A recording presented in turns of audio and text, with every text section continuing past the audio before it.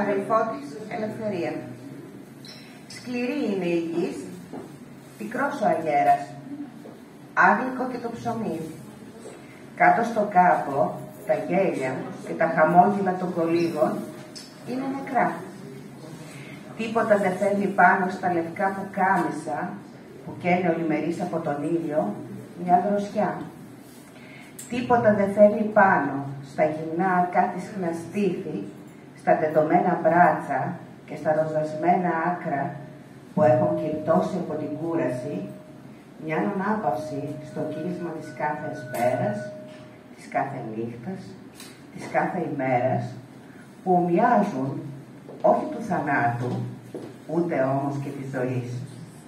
Και εκείνος που στείλει το τσαρδί του κάθε μέρα και πιο μακριά από τον τόπο της γέννησής του, το βλέπει.